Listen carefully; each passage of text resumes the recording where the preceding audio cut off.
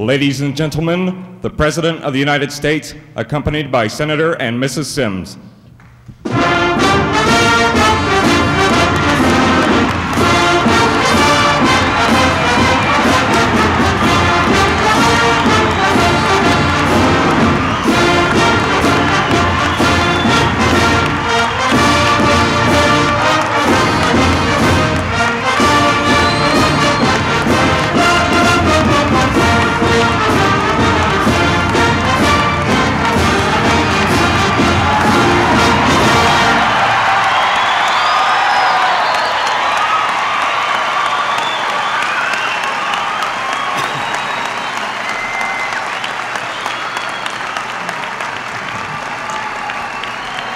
Thank you.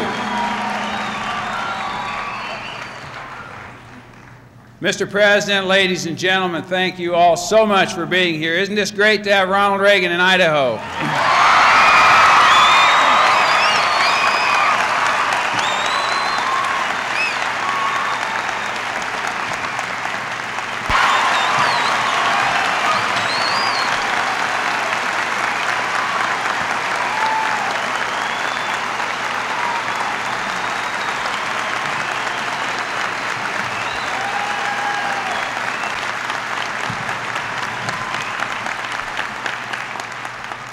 got the next governor of Idaho, this great lieutenant governor of ours, Dave Leroy. And Dave, we're really proud of you right here. There he is, over here. Okay.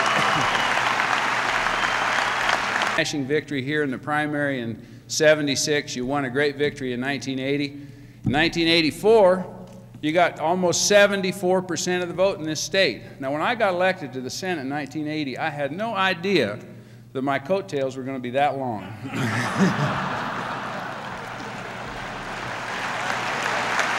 Seriously, it's my distinct privilege and pleasure to introduce to all of you our friend, my friend, the President of the United States, President Ronald Reagan.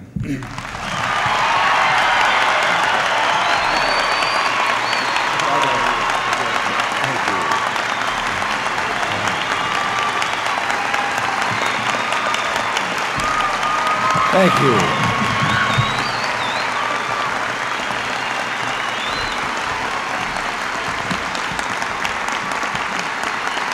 Thank you very much.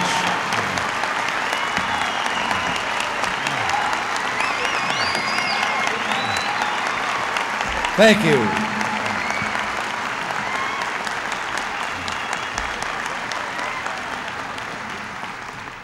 Thank you, Steve. And thank you, Senator McClure and Lieutenant Governor Leroy, Congressman Craig, and all of you, the distinguished people up here, and especially I want to mention these two grandstands filled with these wonderful young people up here. This is what these contests are all about.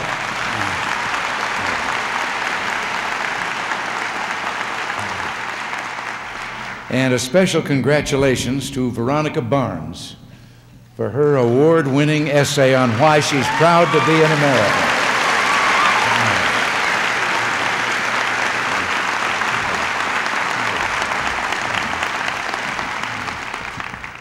Well, it's a pleasure for me to be here in support of a champion of liberty, a tough advocate for the interests of Idaho and for all of America, Senator Steve Symms. Somebody asked me earlier today how it feels to be leaving Washington for a visit to Idaho. Well, I said it's a little like coming home to old friends after a trip through the Twilight Zone. and it, it really does feel like being home with friends. Uh, Steve mentioned this already, but I haven't forgotten the 66% and the 72% majorities the Gem State gave me in 1980 and 1984. And all I can say is thank you, Idaho.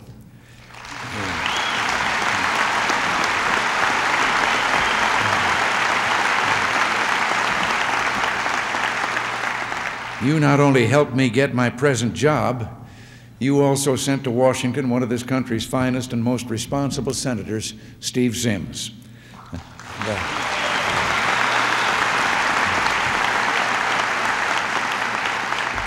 And along with Senator Jim McClure and Congressman Larry Craig, they're all doing a terrific job. I need them. Can I count on you to keep them there?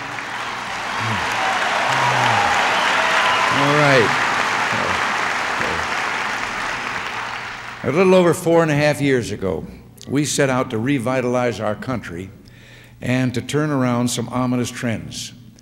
Inflation was raging, our economy was declining, and our military strength was getting weaker by the day. With the help of hard-working, concerned citizens like yourselves, we've put America back on track. Now, some of the experts said that it would take 10 years to wring inflation out of our economy. Well, you know what an expert is. That's someone who can tell you every reason why something can't be done. We didn't listen to the naysayers, and neither did Steve Symms. And now, instead of the 12% inflation rate we inherited last, well, last month, and as it's been for most of the last three years, inflation was under 4%, and for the last four months, it has been 2.5%. Now, that's good for you.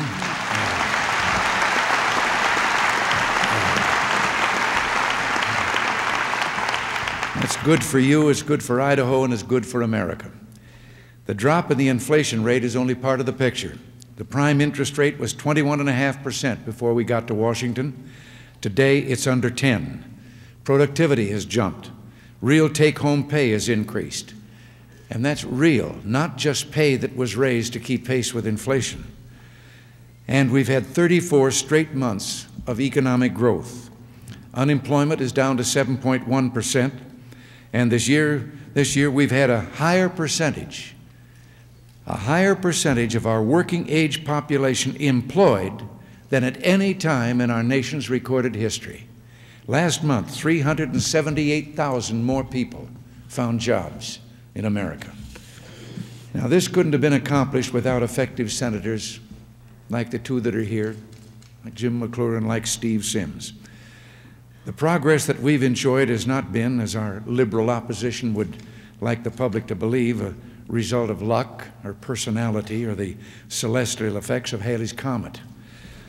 Uh, America is back because we discarded wrong headed solutions that relied on big government, high taxes, and more federal regulation. Instead, we put power back in the names of the people.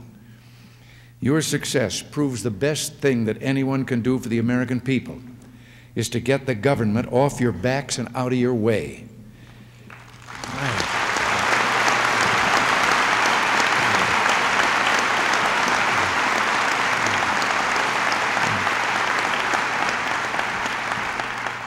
Our program, aimed at private sector growth rather than more government and higher taxes, stood in stark contrast to failed liberal policies of the past two decades. It was about as popular with the Washington establishment, that program of ours, as a skunk at a lawn party. You know, so it hasn't been easy. I've had to rely heavily on individuals with courage, energy, and principle. And you know now I'm talking about Steve Symms. Steve's been a linchpin, a driving force behind our efforts to keep our country free, prosperous, and at peace. And today, we're on the verge of a landmark victory for America's economic future. Last week, Steve told you the Republican Senate, with the support of a majority of Democrat senators, adopted the Gramm Rudman Hollings Deficit Reduction Plan. This far sighted legislation puts in place a fair, enforceable method of reducing the budget deficit by equal amounts each year, mandating a balanced budget by 1990. And then I hope we'll be able to get a constitutional amendment to ensure that from then on the federal government doesn't spend any more than it takes in.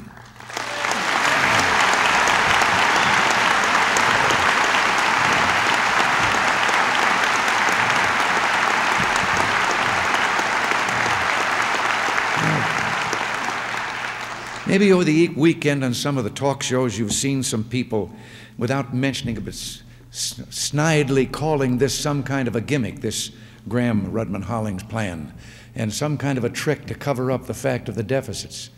Well, it's no such thing. Let me just take a second and tell you briefly what it is. From the moment we got there, we have been trying to reduce the deficits and bring, eliminate them and get them down to the balanced budget. If we had gotten all the spending cuts that we asked for in 1981, the deficit would be $50 billion less than it is right now. And so each succeeding year, you go back to the same old fight, asking some of those in Congress who have favorite programs that are supported by special interest groups, trying to get further reductions in the spending of government. Well, finally, the idea came let's have a program.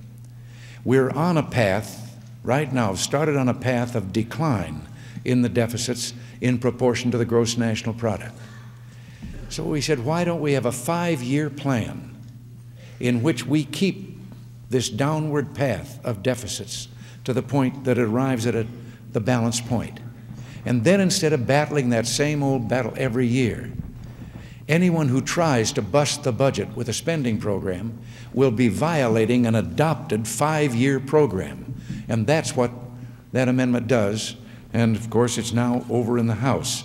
Friday, the House of Representatives took a step in the right direction, but we still have a large hurdle to get over. In a few days, the House Senate conferees will meet to iron out their differences. And they need to know back in Washington how you feel about it and what you want. So don't hesitate to take pen in hand or a telegram or a wire. The American people will not tolerate, I don't believe, any attempt to scuttle this last best hope to come to grips with the budget deficit. The days of the big spender are over. The House Senate conference.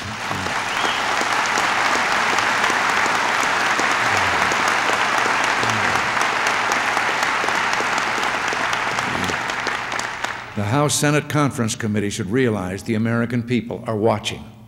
Steve Symms has fought long and hard against the profligate spending that Gramm Rudman Hollings will finally put behind us. One indication of the respect his colleagues have for Steve is his membership on the critical Senate Finance Committee. It is a tribute for a freshman senator to get a coveted seat on that committee.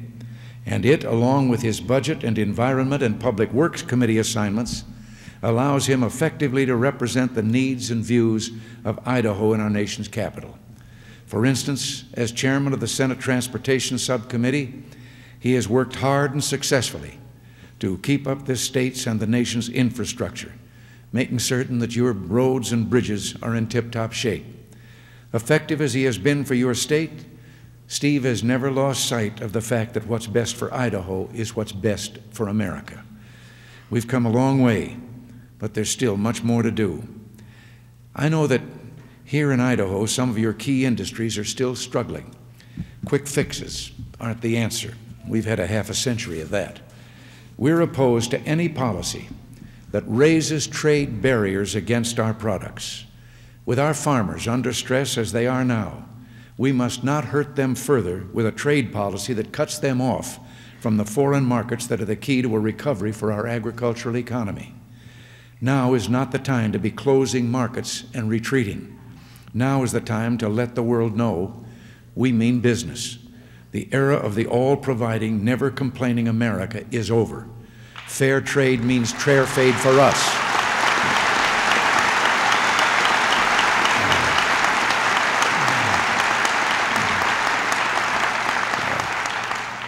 Fair trade for us too. I don't care if we're talking about microchips, potatoes, chemicals, or any other product.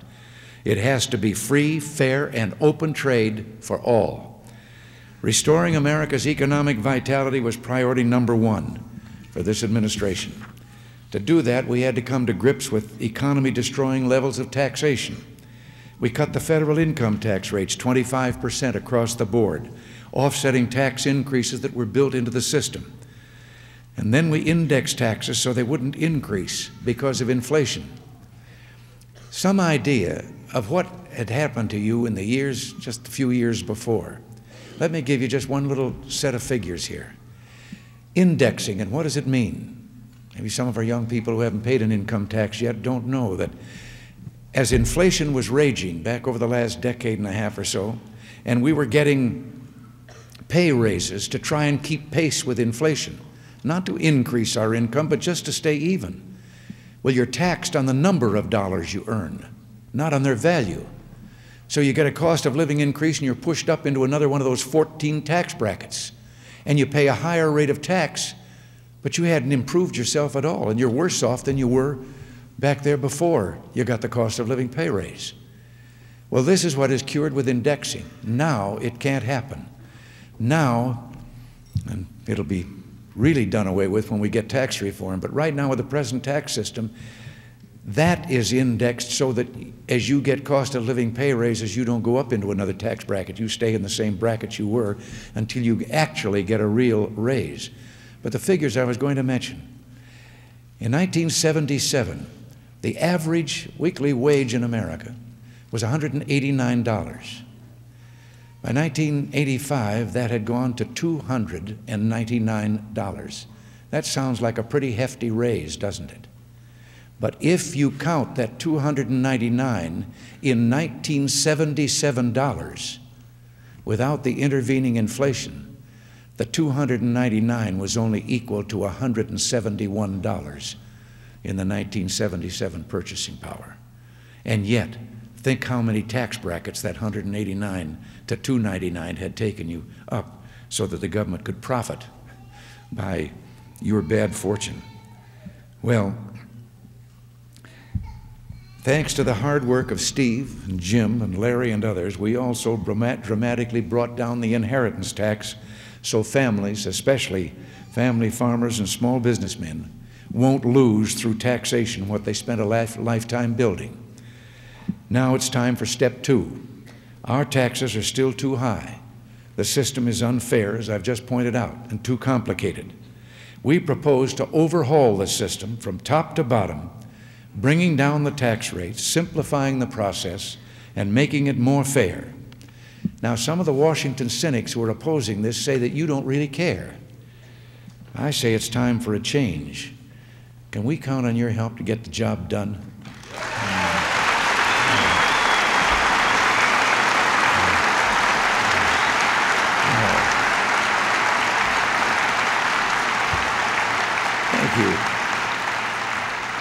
You just made my day. I've always had the sneaking suspicion that not only can Americans run their own affairs better than government can, they can probably run the government better than the bureaucrats and politicians.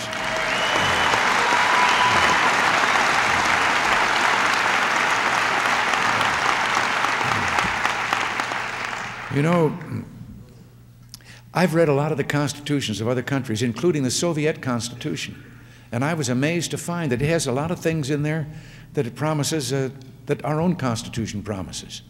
Of course, they don't keep those promises over there, but they're, they're in there. But then I was trying to figure out what is the great difference between our two constitutions. And for these young people, if they've ever wondered, I want them to listen clearly. All those other constitutions I read said the government, we the government, allow you the people the following rights and privileges. Our Constitution says we, the people, will allow the government to do the following things and nothing more than we have allowed them in this Constitution.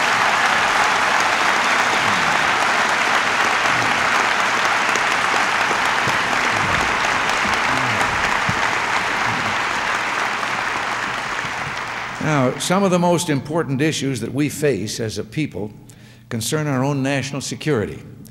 During the last decade, we permitted our military strength to erode. The Soviets, at the same time, rushed ahead with one of the most massive peacetime strategic and conventional buildups in history. No one in a free country likes to spend money on weapons. I'd much rather see that money left in the hands of those who worked for it. But as long as I'm president, I will not see our free country relegated to a position of weakness or inferiority to any other country.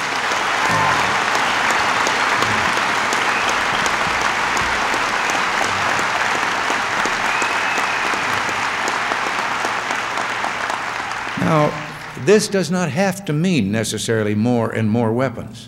One way out is reaching arms agreements, which will reduce the number of nuclear weapons threatening mankind to equal and verifiable levels. If we're resolute in our search for an agreement, while at the same time firm in protecting our own interests, arms reduction can be a reality. But let's not kid ourselves. Progress in this arena will not come from weakness or vacillation. If the United States negotiates with anyone, it must be from a position of strength. As the world has been reminded repeatedly in recent weeks, we're involved in a major research effort to see if it's feasible to build a system, a security space shield, which would protect us against missile attacks, against those giant intercontinental ballistic missiles. This program is an historic turning point. For the first time, energy and resources are being put to use in an attempt to find new technology that is aimed at saving lives. If we're successful, it will improve the opportunity for arms reduction because missiles, no longer the ultimate weapon they are today, will be more negotiable. You wouldn't know it from what they've been saying about the American research effort, but the Soviets have had an expensive ongoing strategic defense research program of their own for years before we ever started such a thing. Well, the idea of using American technological genius to develop a system to protect us against nuclear missiles is moral and in the fundamental interest of the United States and our allies and the cause of peace. We will not bargain this research and testing program away when we get to Geneva.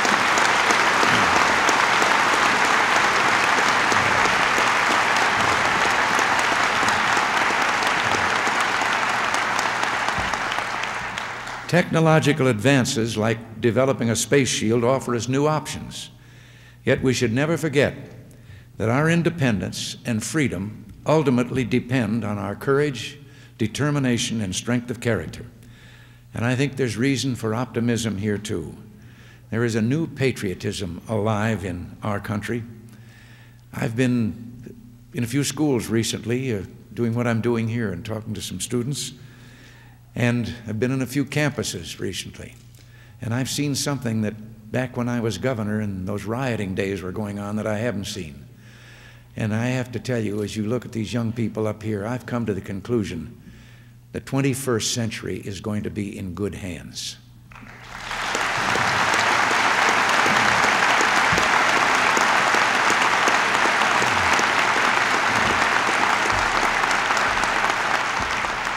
There's a, a, new patriotism alive in our country, and something about which I'm most proud.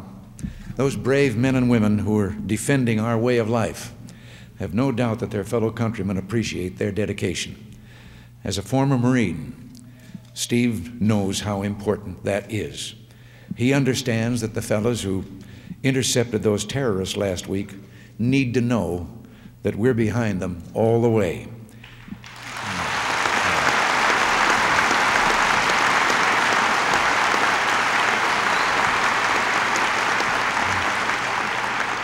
And I can tell you, I'm mighty proud of the job they did, as I know you are. They didn't have more than an hour's notice.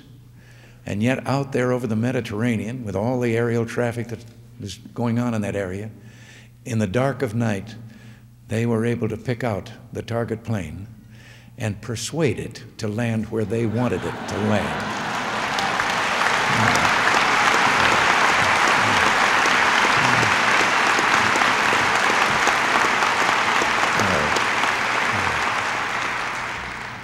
Anytime now and then, if you see someone in uniform, it only takes a couple of steps out of the way, you might want to say hello and give them a smile and uh, tell them how proud we are.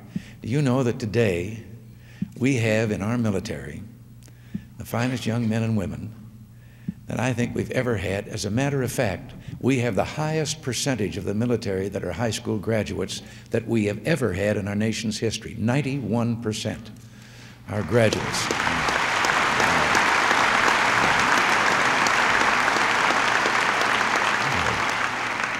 We're building an America that is confident and proud, where every citizen enjoys the fruits of peace and prosperity. Steve Symms and I know that our greatest days are still ahead. There's no limit to what free men and women can do, and there's no limit to how far America can go. Thank you all. God bless you, and send these fellows back. Thank you. Thank you very much.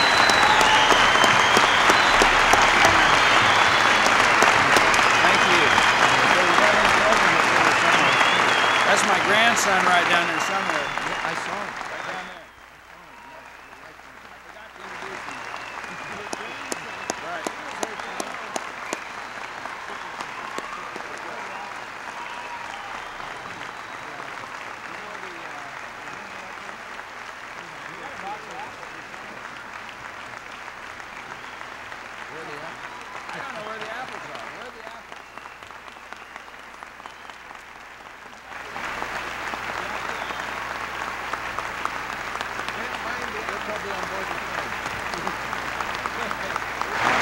Mr. President, I think the apple's gone. Here they come. Here. I wasn't going to leave without them.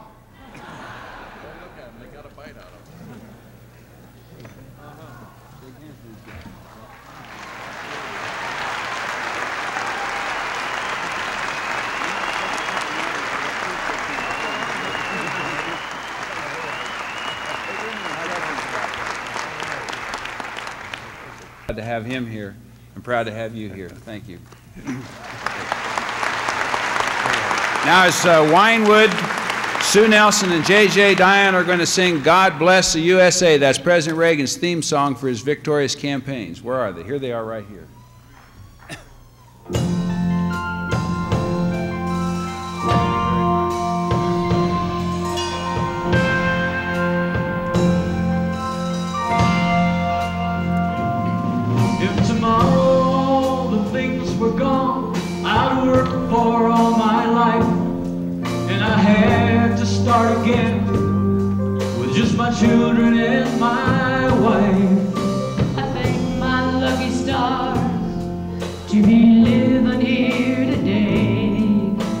Flag still stands for freedom